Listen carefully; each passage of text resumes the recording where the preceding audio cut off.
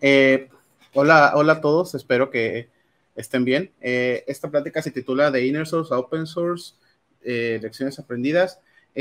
si, hola, soy Troy McClure. Si recuerdan, en, conferencias pasadas de la cumbre de Open Source, les hablé sobre qué era esta parte del Inner Source y ahora les vengo a hablar, bueno, cómo es que a partir de aplicar ciertas cosas de esto, estamos migrando a esta parte de open source y qué es lo que hemos aprendido en ese trayecto, ¿no? Porque eh, no siempre es fácil esta parte de desarrollar software, ¿no?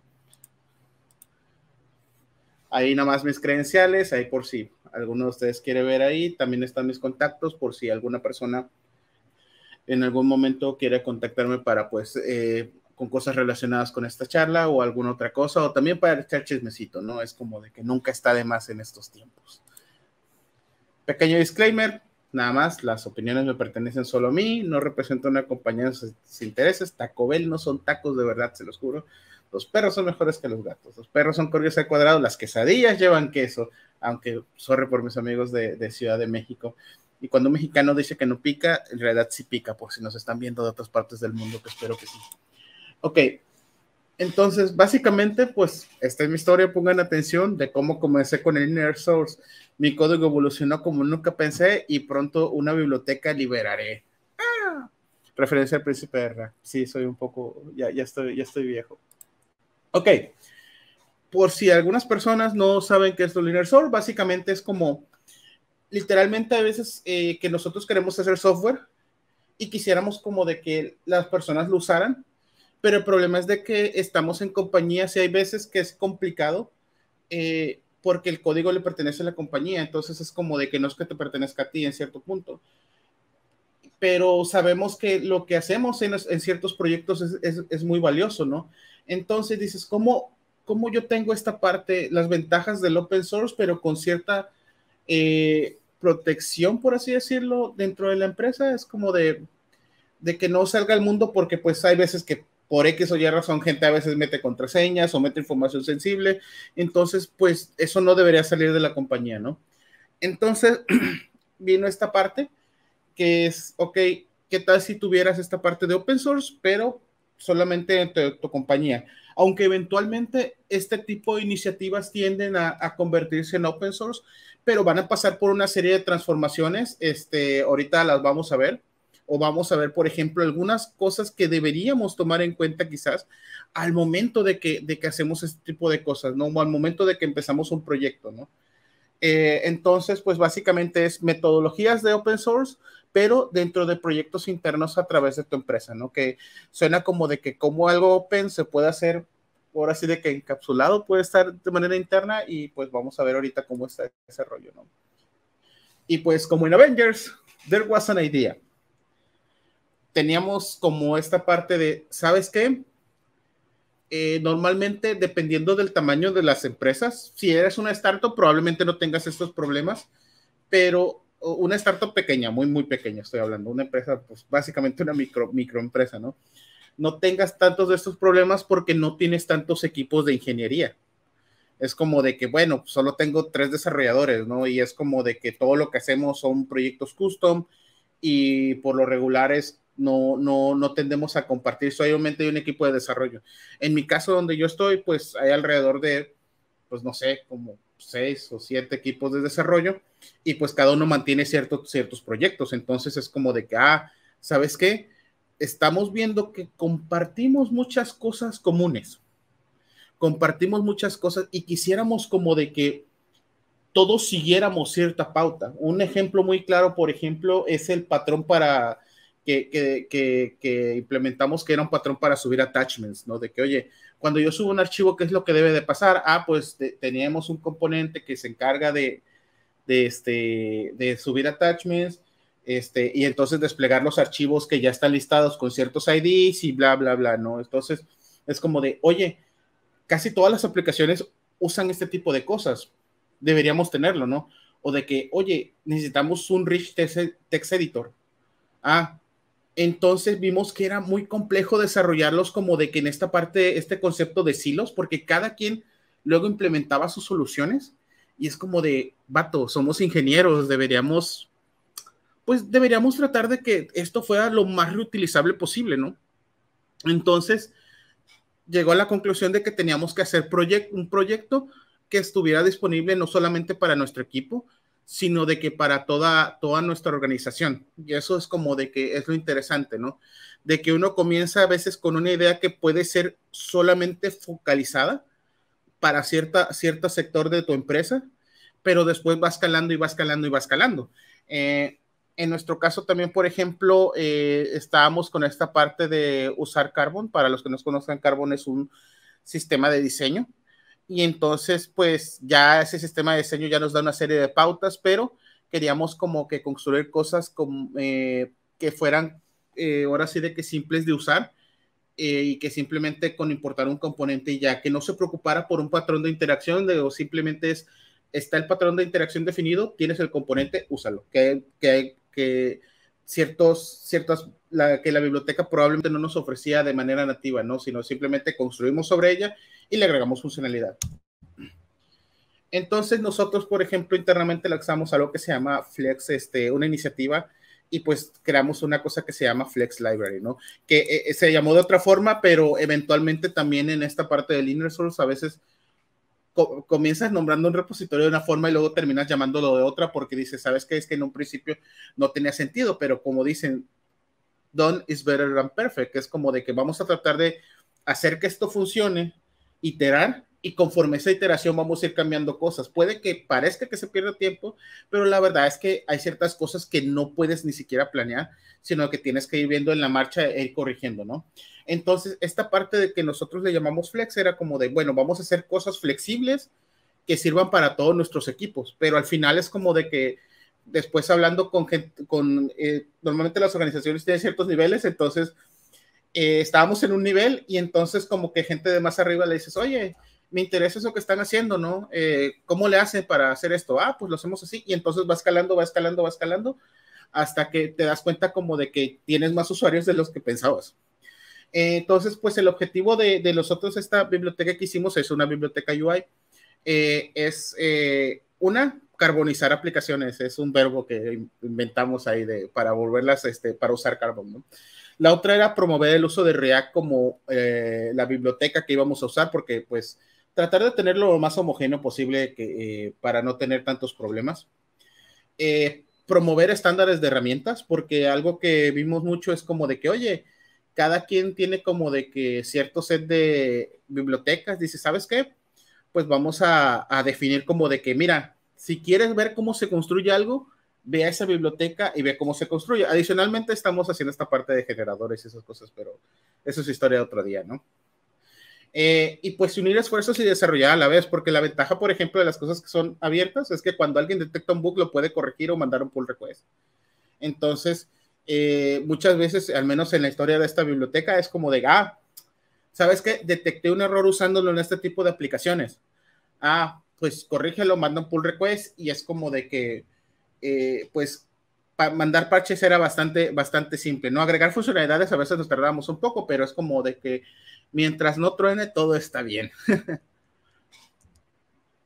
y dices, oye, esto suena una muy buena idea, pero ¿Qué, es, ¿Cuáles son las cosas que, aprendimos, por ejemplo? Porque yo les estoy planteando un escenario donde, ok, tenemos cierta organización y cada organización es diferente, entonces es como de que, pues tenemos que checar qué, qué, cosas sí podemos agregar y qué cosas no. O sea, es muy diferente tener un, una cosa, tener software completamente abierto a tener software dentro de una compañía, por como les dije, a veces hay ciertos, ciertos tipos de pipelines, ciertos, este, cierta información sensible, entonces es como de que a veces el scope que tenías tiende a reducirse, tiende a aumentar o tiende a cambiar considerablemente, ¿no?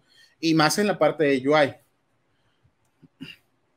Bueno, eh, yo lo dividí como en pequeñas secciones que es como de, bueno, ¿cómo cambiamos de esto a, de inner source a open source, porque es como de que muchas de las consideraciones que teníamos y de los enfoques que teníamos incluso van a tender a cambiar, porque eh, algunos componentes sí estaban como de que hechos directamente para cierta lógica de negocios y dice, ¿sabes qué? Como esto es una muy, no todos los negocios van a necesitar esto y definitivamente quizás cuando se abra open source, no mucha gente le va a interesar esto porque esto sí es, eh, es hecho para nuestro, para nuestro uso particular. eh, pero se metió ahí porque es como, quiero que esto se reutilice, ¿no? Entonces ahí tienes que decir, ¿sabes qué? Vamos a separar algunas cosas, ¿no? Pero de eso les hablaré ahorita. Eh, yo les dije, lo pongo en dependencias y construcción, soporte comunicación, los tipos de componentes, la distribución y ciertos acuerdos, ¿no? En las dependencias y construcciones, básicamente es como de que, bueno, eh, ¿qué build system voy a utilizar? Voy a utilizar en este caso Webpack, voy a utilizar este Babel, eh, digo Webpack o Rollup, solamente Babel. ¿Qué dependencias este, voy a tener como, como tales como dependencias?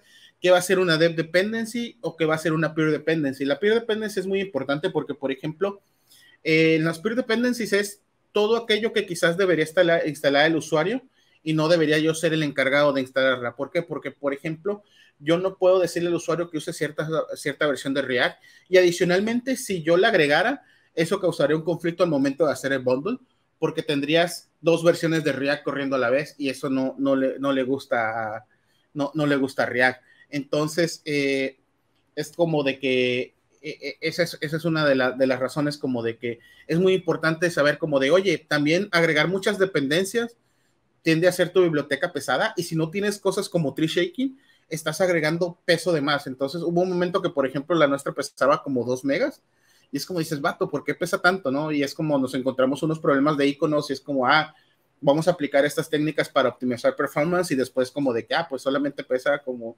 120 kbs y es como, perfecto, ¿no? Eh, y, tienes que tomar muchas estas cosas en consideración, inclusive llegar a acuerdos como de que, oye, ¿cómo hacemos esto, no? La otra es la parte del soporte. Por ejemplo, nosotros como era algo interno, teníamos un soporte, tenemos un soporte limitado, o sea, de que, mira, compa, ¿es Firefox o es Chrome? ¿No? Como, no, no por el hecho de que no, no se puede utilizar en otros navegadores, sino como de que estos son los óptimos para utilizar y, ya incluye ciertas, ciertas características, ¿no? Pero ahora en la parte de open source es como de que sabes que como ya cualquiera la va a poder utilizar, tienes que agregar un soporte más extenso. Y esto no solamente en la parte como de que los browsers, este, las, las compañías que hacen browsers, sino las versiones, porque, por ejemplo, eh, nosotros usamos, eh, hay ciertas features que tienes que transpilar con Babel, pero si usas navegadores modernos es como de que, ¿sabes qué? Pues no, entonces, pero ahora es como, bueno, si quiero que también corran viejos browsers, pues tengo que ver ahí ciertas alternativas, ¿no? Eh, en la plataforma Node, pues es como de que ahí no hubo tanto rollo, pero sí es como de, bueno, vamos a decir que la, de la 12 o de la 14, y si sabes que pues a partir de la 14 en adelante vamos a dar soporte, todo está bien. Tipos de módulo, eh, pues normalmente teníamos CommonJS y es eh, ECMAScript Modules, y es como de que, ¿sabes qué? Vamos a agregar una tercera que es UMD para cualquiera que lo quiera utilizar de esta manera, ¿no? En la comunicación, normalmente, por ejemplo, en, en, en al menos nosotros, les digo, esto puede variar mucho, depende, ahí nosotros teníamos como de que ciertas, eh, ciertas guías para crear open source, pero la parte de comunicación normalmente te dicen que eh, trates de hacerlo lo más parecido a open source, que es como de que trates de evitar los meetings, este, y en la vida real también traten de hacerlo. Entonces, pero nosotros es como de, bueno, como este es un proyecto interno, es, ok, vamos a comunicarnos a través de Slack. A veces teníamos juntas semanales para decir, ¿sabes qué? Se va a liberar este componente, se va a adquirir cierta práctica, se, eh, hay problemas de seguridad, hay que, hay que resolver este tipo de cosas. Entonces, es como de que eso, eh, así nos organizamos nosotros. Y teníamos los boards de Jira, ¿no? Que es como de, bueno, ¿sabes qué? Pues te vas a organizar, vas a crear cierto ticket, ¿ok? Pero ahora, pues, cuando vas a pasar a eso sabes que esto se va a regir únicamente por Git, usando issues y labels, para decir como de que, oye, ya la revisamos, porque al final, eh, a pesar de que pase a open source, pues el open source también tiene esta parte que son los, este, o si los core maintainers, que es de que, pues, eh, se encargan como de decir que sí va o que no va y es como de que decidir este tipo de cosas, ¿no? Pero les digo, eso es un poco más complejo, eh, al menos en un ambiente empresarial que ya en un ambiente como de que ya está eh, en esta parte del open source o equipo o, ciertas guías de comunicación que ya dictaminan ellos para, para comunicarse, ¿no? Hay algunos que me contaron que literalmente lo hacen con correos y se mandan snippets de código ahí digo, ah, caray, eso está medio feo, pero bueno. Eh, nosotros, por ejemplo, teníamos componentes que eran genéricos, que sabes que esto es de propósito general y hay otros, y, y, y, algunos que estaban orientados concretamente al negocio, que ya estaban conectados con ciertos endpoints y todo esto. Dice, ¿sabes qué? En orden de, de que esto sea open, tenemos que quitar los que se conectan a un endpoint personal. Entonces es como de que, ah, pues, ¿sabes qué? Estos se van a sacar, ya de por sí, ya los teníamos clasificados, pero es como de, ah, bueno, todos los genéricos se van a ir para la parte open. Y adicionalmente, por ejemplo, si hay algunos que usen datos, vamos a adaptar eh, que la gente pueda eh, customizar esta parte de cómo interpreta las respuestas, de, de, de, los, de los fetch o, el request que estemos haciendo para obtener algunos datos y, la gente lo puede usar. O en su defecto, solamente importar la, exportar la parte de la UI. Ahí como de que somos abiertos en esa parte, de, somos flexibles en esa parte, ¿no? En la parte de la distribución, que esta es la más importante porque por ejemplo, cuando tienes un proyecto que solamente es eh, literalmente copias y pegas, cambias credenciales, eso está bien. Pero cuando tienes un proyecto UI es como de que tienes un package manager que va, tú tienes que generar tu paquete y este, y es como de que pasas por un proceso de construcción, no, no es tan, no es tan abierto como por ejemplo en la parte de backend, que es como de, bueno, pues tú controlas el server y tú controlas lo que tienes, entonces puedes hacer técnicamente lo que quieras, ¿no? Entonces, pues, por ejemplo, nosotros tenemos nuestro propio Artifactory, eh, y realmente no nos importa tanto el nombre del paquete porque es como de que pues, se puede llamar como sea, pero simplemente con que lo podamos instalar hay una referencia, no hay ningún problema, ¿no? Y pues la, licencia que tenemos es una licencia bastante común, ¿no?